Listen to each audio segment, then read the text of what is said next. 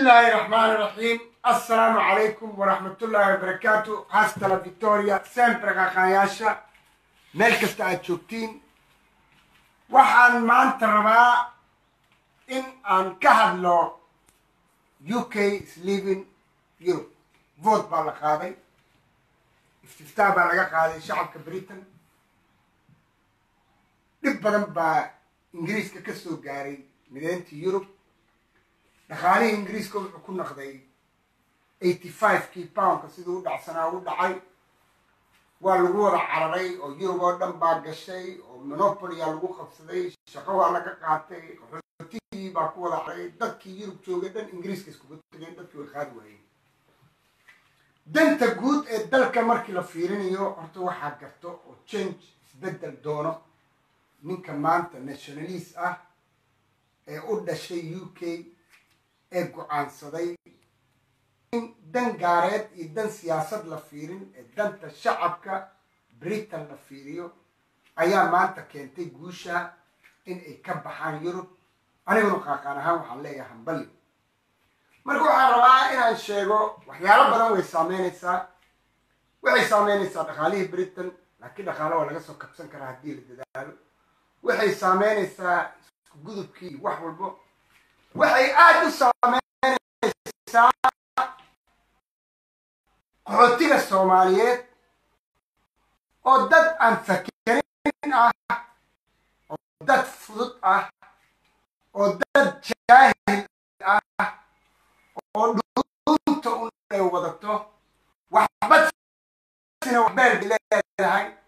Maanta ubadkiinii ku dhashay holland sweden ama meel walba yurub ayaad la cararteen london geyseen oo adinkuna dhibaataa niga soo gaartay yurubtaa isku darsantay oo maanta ubadkiini gangs bay naqdeen maanta ubadkiini london jeelashay ka buuxaan maanta ubadkiini way wada baaba'san yihiin marka waxaan leeyahay hooyada soomaaliyeed laba sanay qaadanaysaa ama sanad ha sugin ilaa lagaa soo eriyo. Soo xirxiro shandadaha ka soo bilaaw halkaad ka soo bilowday ku soo noqo waddankii aad sharciga ka haysatay hadduu holland yahay hadduu sweden yahay hadduu jarmalka yahay hadduu meelwalba yahay. Ingiriisku wuu tashtay yurub wuu iskaga baxay dantii waddankiisuu fiirsaday. Maantuna anigu waxaan leeyahay horta waa guul. Waxa korkeyga saaran waa calankii somalilan waxaan leeyahay waxaa la galay casri cusub way dhammaatay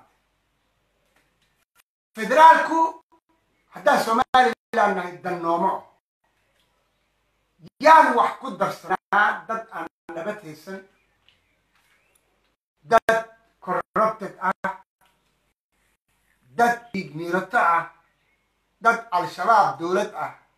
Iyo dad shacabka u shaqeynay shaqaysanay maanta somalilan fikirkaa ingiriiska ah wax weyn buu nagu soo kordhin karaa haddaad khudbadii tony blair dhistaan.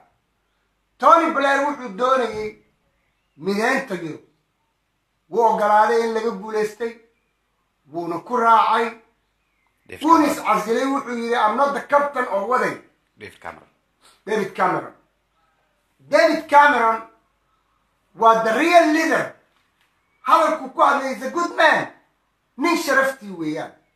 Waa leader waa prime minister soo dadaalay gartay inuu xisbigiisa uusan faa'iido soo kordhin. Gartay inay tahay waktigii uu ka degi lahaa uu xisbi kale qan lahaa jagada ee masiir cusub la furi lahaa bog cusub la furi lahaa. Marka waxaan iyadana ku talinayaa doorashaa maanta soo dhow. Silaayo asagana waa inuu sidaa kale khudbad sharaf le kaga degaa uusan ku wareerin inuu muuse biixi maana asaga nin keeno uu xisbiga nin keeno laakiin janska la siiyaa ninkii masiirka somalilan wadi lahaa. Shacabka somalilan waxaan u soo jeedinayaa adduunweynaha tusa istiftaa iska qaada ha la arko inta doonaysa in soomaaliya lagu darsamay inta lagu darsamin ani lama oo reer waqooyi kan waalan kan qabuuraha ku jira haddii sood laga qaado kan dusha dunida socda sood laga qaado. Kan dibaddii gudaha jooga sood laga qaado. Kan muqdisho jooga sood laga qaado. Waxay doonayaan inay go'aan. Marka maanta waxaan leenahay aan ku dagano grand britain. We were british somaliland. Annagu waxaa nahay western.